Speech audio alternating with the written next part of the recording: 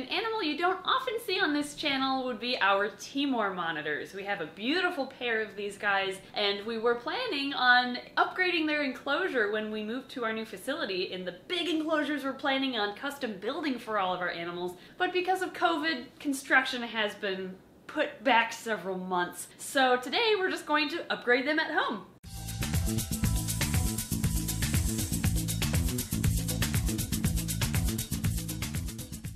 The plan is to use this guy over here, which we took out of storage, but as you can see, since it's been in storage for several years, it's pretty dusty and gross. Can you see that smiley face? You can't, you can see it here. Yeah, that's how gross it is. So we're gonna have to clean that out and totally revamp it, but I think our Timors are going to love this as a new mansion.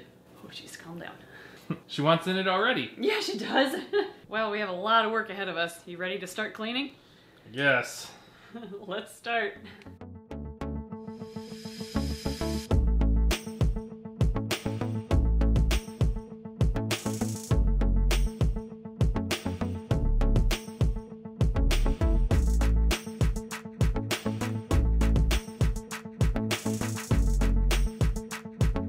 Ta-da! It's clean! You can't even tell it's here! Yeah.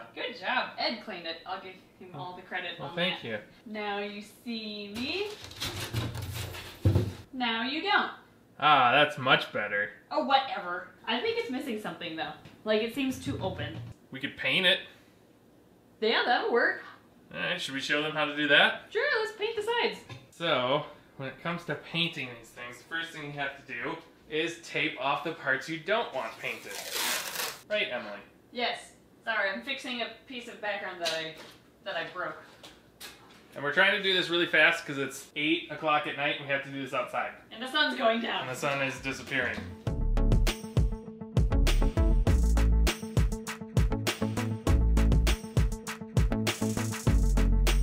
Alright, so it's all taped up. As you can see, you got tape on all the corners and edges.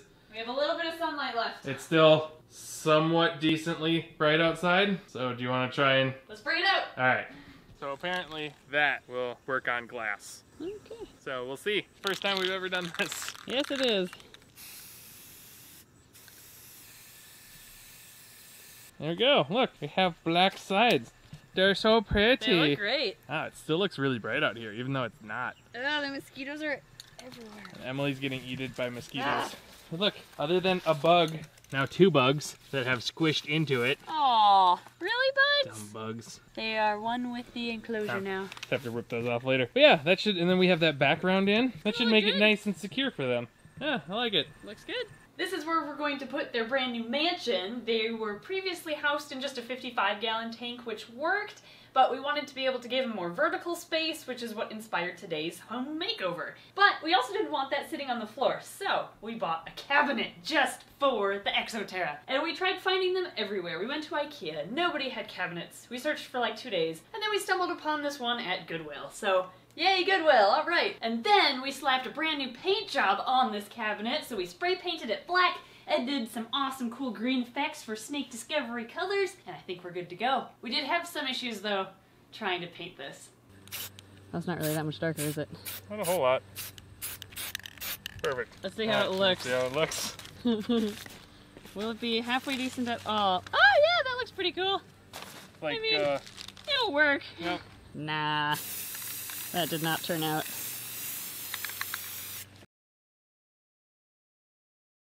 But I think it turned out pretty well. Yeah, I think so. Looks good. It's Should better we- than $200 uh, cabinets that we were finding. Yeah, really, from fancy places. We Mhm. didn't need that. we just we just bought this used one. Yeah. Alright, so should we put the new cage up there? Yes, let's put it on and set it up.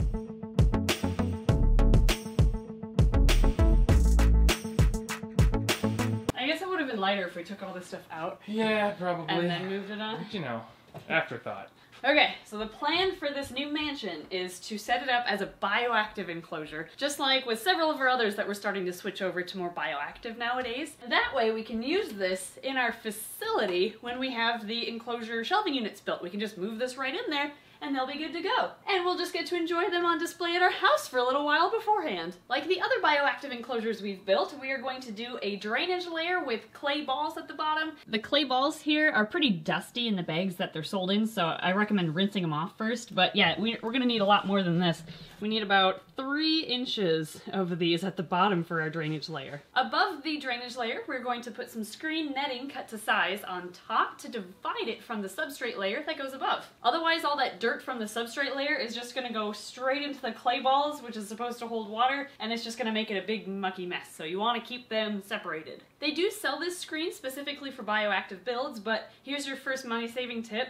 Just go to a hardware store and buy screen door screen and cut it to size. It's a lot cheaper. For the substrate layer, since it worked out so well last time during our bioactive builds, we are going to use the Snake Discovery Awesome Mix that we came, not came up with, kind of came up with. Basically, in our substrate layer, we want to try to avoid using peat moss since it's not very sustainably harvested at all and it destroys bogs. So for our substrate layer, we are going to use a 50-50 combination to start with as a base of cocoa fiber and tree fern. Usually the concern with using tree fern though is that it's not sustainably harvested. However, and I don't know how recently this came out, but we're new to knowing about it.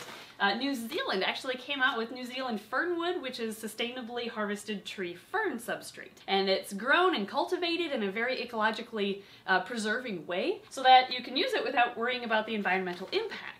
So we're going to use this along with cocoa fiber for our substrate layer. Next we'll blend in some sphagnum moss and this will help add some aeration and volume to the soil as well as help hold in moisture. Then we are going to add some sand. For your second money saving tip in this video, you can get sand at just Menards. It doesn't have to be specific reptile branded sand. Just get like a nice natural sand and it's like $5 for a 40 pound bag at Menards. The next ingredient in our Snake Discovery Awesome Mix is just activated carbon or charcoal. This is sold by Marineland. You can get it other places too. I just was able to find a good deal on a huge container of this on Amazon. It was like, I think $12 for this whole thing and we won't be using all of this. So it'll go a long way with our future bioactive builds. And by the way, I'll put links to everything that we're using in the description below in case you need it too. And finally, we're going to sneak in some pieces of shed skin from our snakes It's like Lady and the Tramp. yeah, it is. Soon we're gonna kiss in the middle. As well as some crumpled up dead leaves to act as a starting food supply for the isopods and basic cleanup crew we plan on adding into this enclosure. Once the monitors are eating and pooping and shedding themselves, they'll contribute more to the food source for those invertebrates. Put it over. Oh, jeez. Good job. All right. Nice. Now I'll clean up what I spilled. Now that the substrate layer's in, we're going to add our cleanup crew. And today we're going to be adding some Dalmatian isopods. And there's some springtails jumping around in here too that we took from some of our other enclosures. So we're just gonna add them like that. We're kind of running low on isopods right now. Some cultures aren't doing as well as we had hoped, so we might have to buy some more to put in here. And then to hold in the moisture in the substrate layer, we're going to add some biodegradables, or some leaf litter basically. And also, since we've just had it forever, we're gonna throw in some pillow moss, because I just want to use this up. For a water dish, here's another money-saving tip. Paint trays. These are awesome water dishes for all sorts of reptiles because when you nestle them in, it makes a perfect little ramp into the water, which is a reservoir. They sell a water dish just like this, specifically for reptiles, and it looks more like a rock that gradually goes down, but it's like $20. This was $2.50 at Menards. Before we finish the leaf litter layer, though, we're gonna add our live plants. I say before we finish because I kind of forgot about them until just now.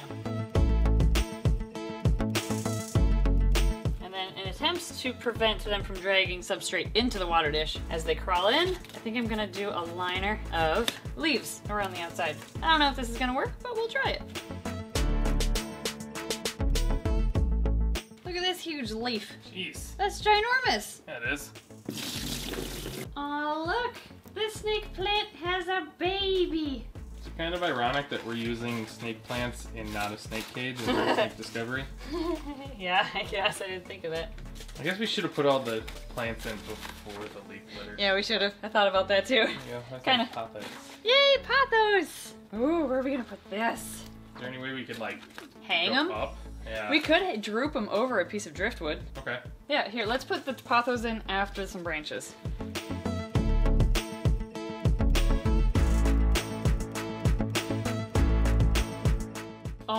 Oh yeah, look at this. We've got our basking platform that'll go there. We've got all sorts of climbing structures for them to get up there, and that's a hollow tube of cork bark, so they can go inside and hide in there. They can hide in there. They'll probably, honestly though, wedge themselves behind the water dish. But it still looks awesome. They've got like a lagoon. I definitely wanted to put a piece of wood with leaves over the water so they could like hop into it.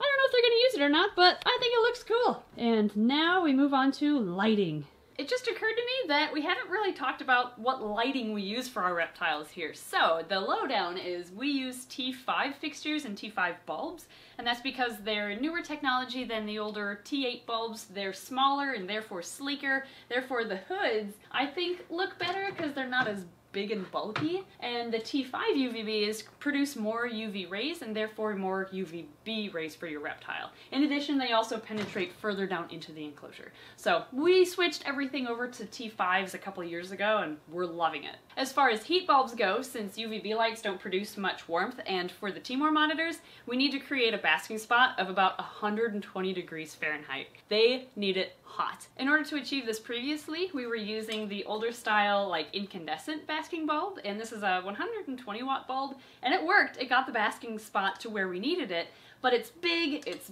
bulky, and it uses 120 watts. So in this upgrade, we are also swapping out their basking bulbs from incandescent to halogen. The halogen lamp is, I mean, much smaller, and that's because it doesn't need to be as big as this guy in order to maintain the little bulb inside. And this bulb, this halogen bulb, is only 25 watts, and that's all it takes with a halogen lamp in order to create the basking spot they need. So not only is it smaller, but it uses a lot less electricity. However, due to the smaller lamp size, there isn't as much spread of that warmth throughout the entire enclosure.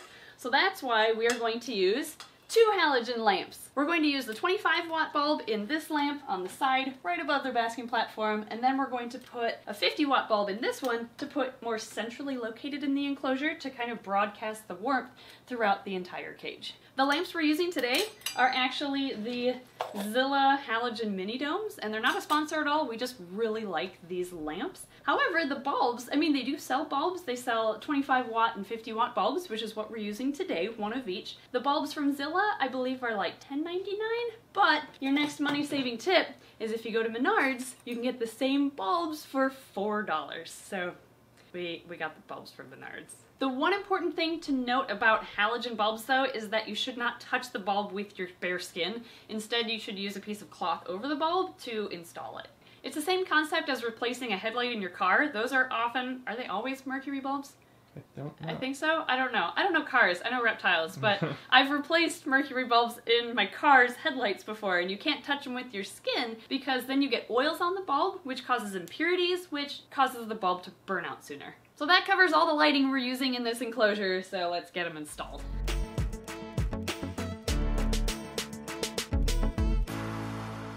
Even though we're now using two lamps instead of just the one, this is a 25 watt, and again this is a 50 watt. Together that's only 75 watts we're using for heat, whereas previously in this bulb, this is 120 watts, so we're saving a lot of electricity. Yeah, we could even throw another 50 watt lamp up there and still pretty much be equal to what we were doing before. Yeah, we really good. I think we're done.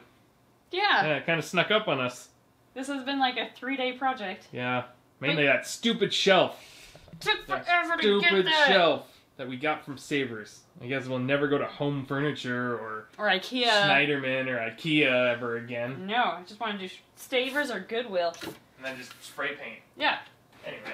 Yay, now we get to put him in! Here is our beautiful male Timor monitor. He's not too sure what to think of all of this. He's Yeah.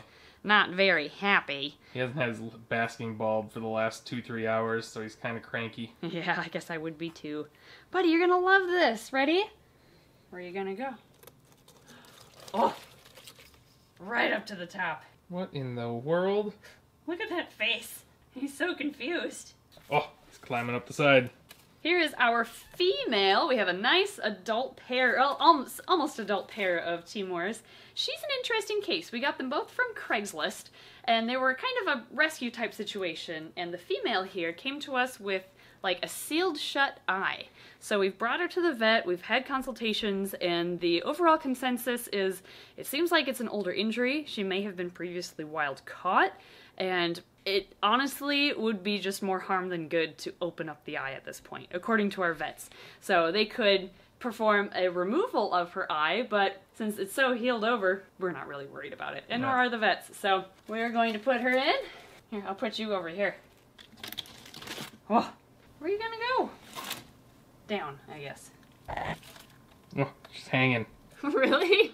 What are you doing, girl? I cannot wait to watch them explode. Yeah, it's effortless for them. They walk sideways just as easy as they walk forward. They're like mountain goats. Yeah.